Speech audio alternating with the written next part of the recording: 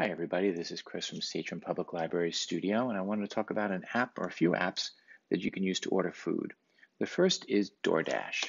So when you first go into DoorDash, um, you get your information here. You can choose from restaurants that are local to where you are, or you can search for restaurants. And yes, even the fast food places like Burger King and McDonald's and Chili's, they all deliver. So let's say you wanted to go to Wendy's, there's a $2.99 delivery fee. So you would hit Wendy's and you would see the different menu items. And you can also see the, the more general menu here, and you can make an order and have it uh, delivered. You can also search for other places, and one place that we like to go to is Moe's.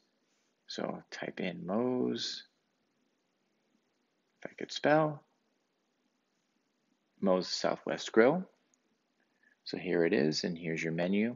You can click on the different things you'd like to add to your your menu, and when you're done, so let's sit, let's select this, add it to my order, add this to it, add to order.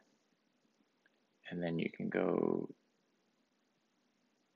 to your checkout,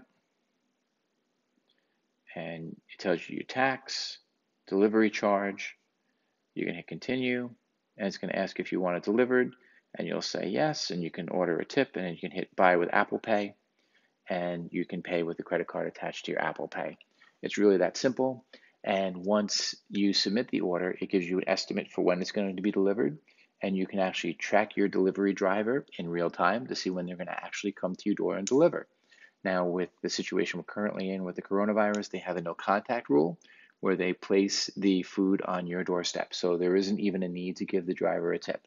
So that's a really great app that we like to use here at home. And another app we use is Uber Eats. So Uber Eats does the same kind of thing, but it uses Uber drivers. So if we go into Uber Eats, it's going to load. And then it gives us, you can give them your address, and it's the same concept. You can search for a restaurant. So let's say we're looking for pizza. Let's see what's local for pizza. Sable Pizza, Mama Lombardi's. So we can hit Mama Lombardi's. And you can also search by restaurant. And not every restaurant is on every app, and you'll see sometimes that you'll kind of strike out with certain restaurants. So you can see that this is on Furrows Road in Holbrook and you can see the different menu options that they have and you can select what you want, add them to your cart, and then you can send your order and it does the same thing. You can actually track your order, see when the Uber driver picks up your item, and you can track in real time to see when they're going to come to your door. And again, because of what's happening with the current corona issue, it's a no contact experience where the driver will put it on your front porch. So that is Uber Eats. Uh, another app that we like to use if you have a gluten allergy, you can use an app called Gluten Free Scanning. So let's say you're in the restaurant, not in your restaurant, if you're in a supermarket and you want to purchase something with somebody in your home has a gluten sensitivity, you can actually hit the scan button as I get something here. Hit scan, and then you see that barcode comes up and you see that this item contains gluten. So let's do that one more time. It's really sensitive. So if you take the barcode, line it up, it reads it, and it says whether it's, obviously this one is not available. Um, so let's grab something else. And we'll click scan. It scans it, and it tells you whether or not it may have traces of gluten.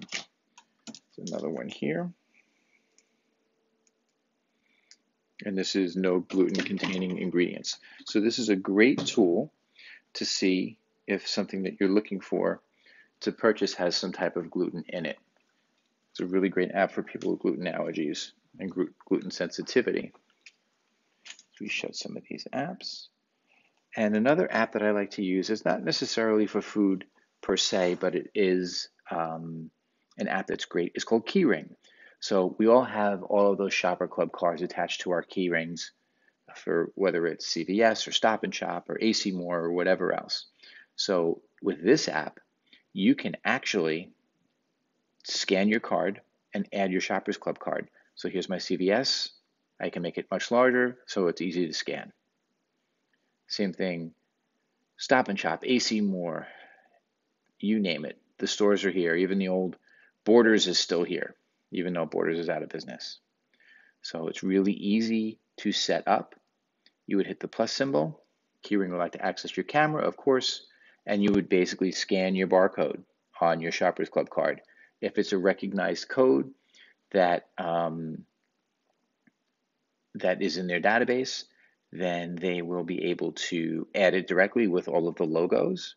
So you get this kind of look.